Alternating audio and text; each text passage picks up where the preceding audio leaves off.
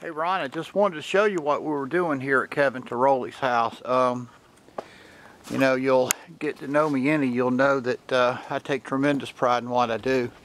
Um, it hurt me bad what Kevin Goodwin did to this family.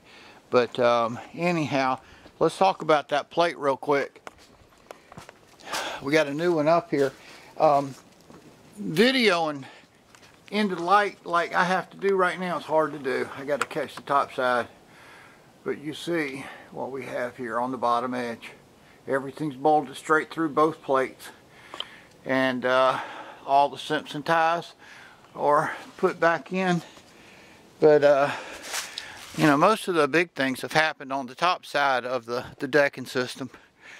Um, but, uh, you know, that standard framing that uh, you've requested. And um, Cox Post looks good. We've uh, duplicated their railing um, calling for a partial inspection because we need to close that wall up. And before we close that wall up right there, they need to see that column.